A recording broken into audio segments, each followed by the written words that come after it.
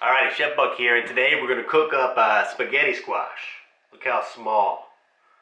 Look how small this squash is. So I'm going to go ahead and cook this up for a light lunch.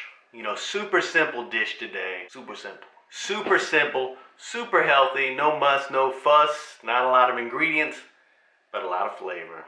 So stick around. Whenever I see a cute little spaghetti squash like this one, I just want to cut it in half. I learned this from Camera Girl. Put a little divot in there, kind of to get you started, and then boom. That's all there is to it. But the first thing I'm going to do is dig out these guts. You just get you a spoon, work it around in there, and it's really, it's like the inside of a pumpkin. You know, there's just seeds and some cobwebby looking insides there. And it'll come right out.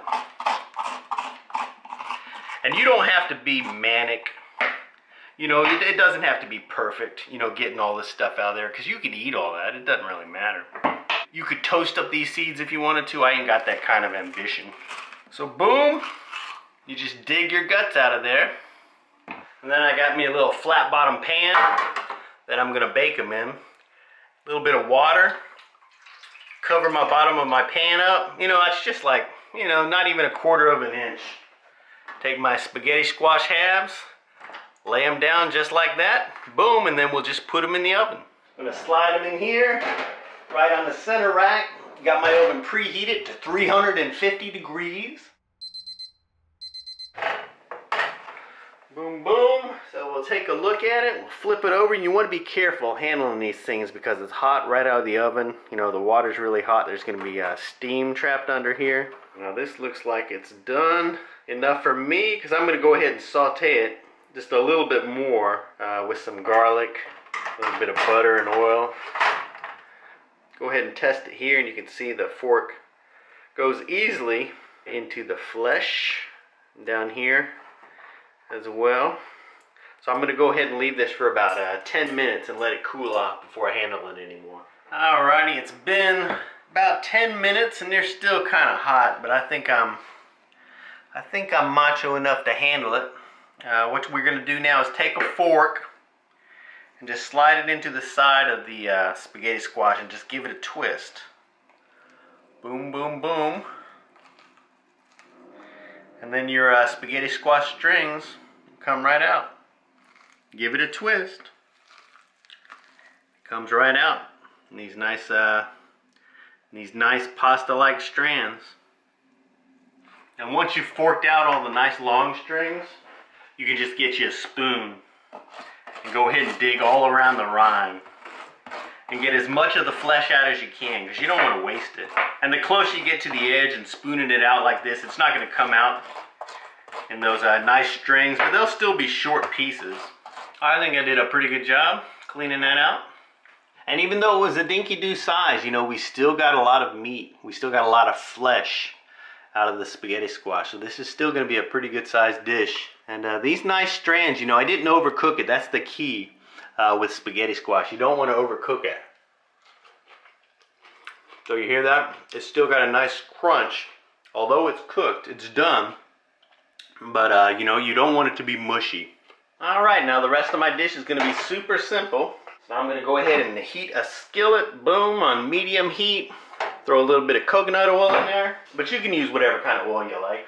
Once my oil's heated up, I'm to add in a bunch of garlic. You know, if, any, if you watched any of my videos, you know I'm kind of a garlic freak. So you can definitely use less garlic than this if you want to. But there aren't to be a lot of ingredients in this dish. So the more garlic, the better. Because spaghetti squash by itself doesn't have a lot of flavor, which is why it's a great ingredient, you know, because you can use it in all kinds of dishes and it'll take on the uh, whatever flavors you add to it. So I'm going to go ahead and uh, give this a minute or two to color up. Let these flavors come out a little bit of this garlic.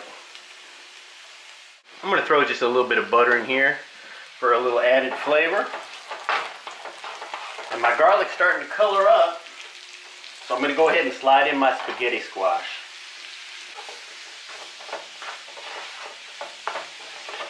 Alrighty, man, it smells fantastic just with those few ingredients right there. Now I'm going to put some lemon juice in here, but I've already zested the lemon. So this is what this is, just a little bit of lemon zest. I'm going to add some uh, black pepper, If you wanted to really add some heat, you could add some uh, red pepper flakes or some chili powder if you want, but I'm just going to keep it simple. A little bit of salt. I'm going to throw in the juice of one half a lemon. And I'm going to turn the heat off. You know, because the uh, spaghetti squash is already cooked. You know, we colored up our uh, garlic. Got that flavor going. Let's see, I'm going to go ahead and add a little bit. Nice dark extra virgin olive oil. And that's really about it. And it's a tad bit on the yellow side.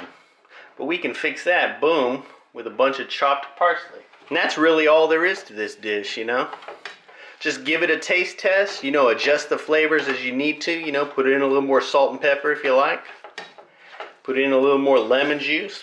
You know, if you wanted to, you could uh, mix in a little uh, freshly grated Parmesan cheese. But I'm just going to keep it simple. Well, that's all there is to it. You know, a nice little snack lunch. This will be the uh, spaghetti squash cam. Dun dun dun. Doesn't this look like pasta? Doesn't taste like pasta, huh? Tastes like vegetables. But not the bad vegetables. But, uh, you know, give this recipe a try. I'll have it uh, written down below or you can print it out at uh, myfoodchannel.com. You can print all our recipes there. Uh, thanks for watching and uh, giving it a thumbs up and sharing it and being a good citizen of the internet. And uh, we'll see you in the future. Bye-bye.